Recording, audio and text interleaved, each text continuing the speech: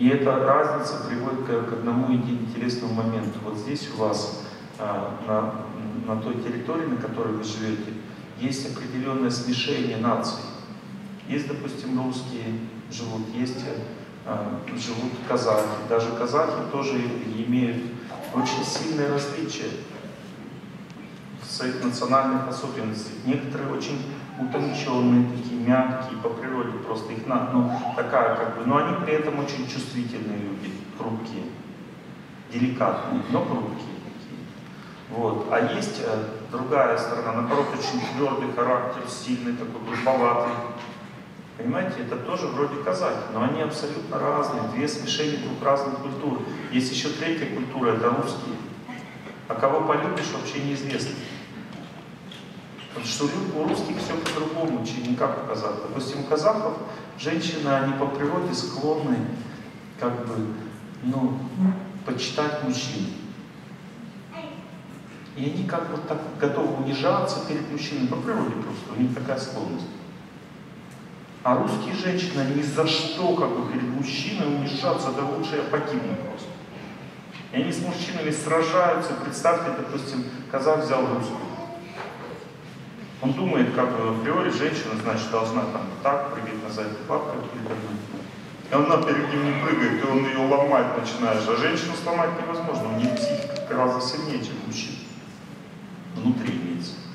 И она, он видит, что с ней ничего сделать не может, там бесится, с ума сходит. Или казашка за русского выходит замуж. Но она как бы априори, как бы, если мужчина, значит, он там твердый, сильно сказал, сделал там все. А он какой-то ни рыба, ни мясо, допустим, да? И она такая, Бога ты мой, я за нее замуж Или, допустим, вышла замуж не за этот слой вот чувствительный, нежный, мягкий, а за другой. Ну, из другой вот этой вот линии национальной. И тоже, вау, что тут происходит вообще, куда я попала? В этом мире. А если представляете, если ты жил в России, в Америку приехал замуж девушка выходить, там вообще другой менталитет у людей, вообще абсолютно. Они, допустим, он с девушкой в обнимку идет, она в шоке, короче. У меня одна родственница приехала, как, короче, замуж в европейскую страну вышла. И там он с смс там переписывается с мужчиной, с женщиной. У них это в порядке вещей вообще. Там комплименты какие-то.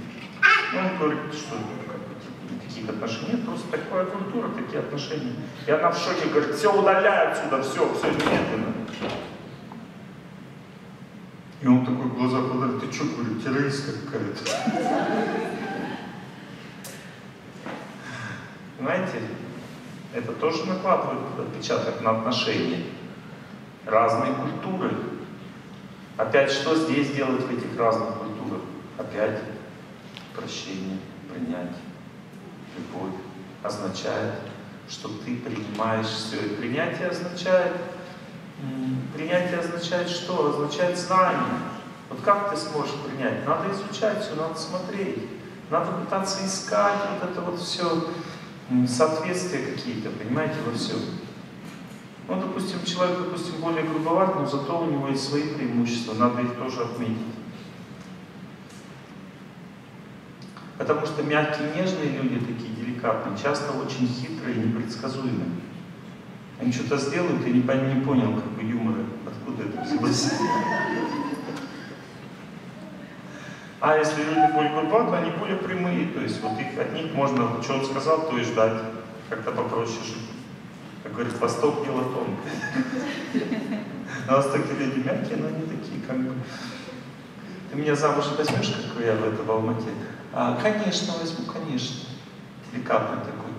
Прошел год, как ты меня замуж возьмешь? Ну, конечно, возьму. Два года.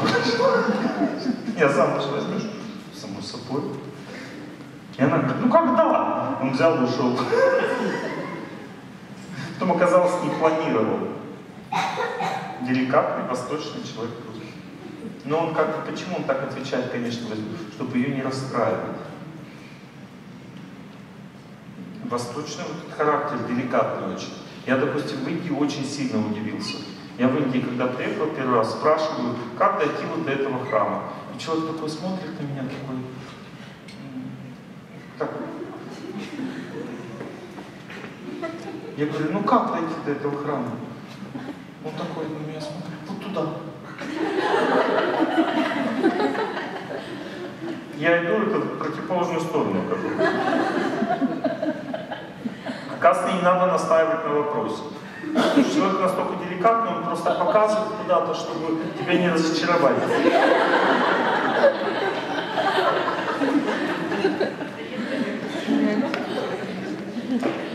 Восток настолько тонкое вот дело, что он, оказывается, спросил, не отвечать, иди дальше, потому что он не знает. Допустим, в России спросил, он говорит, да пошел ты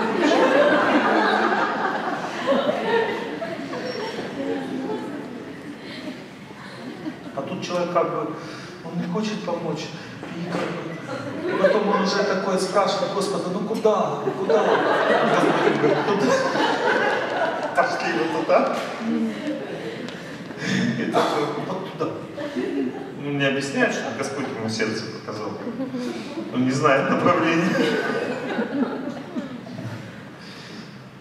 Но даже если у вас разные веры, у вас разные взгляды, все это решается с помощью знания, понимания вещей, любви.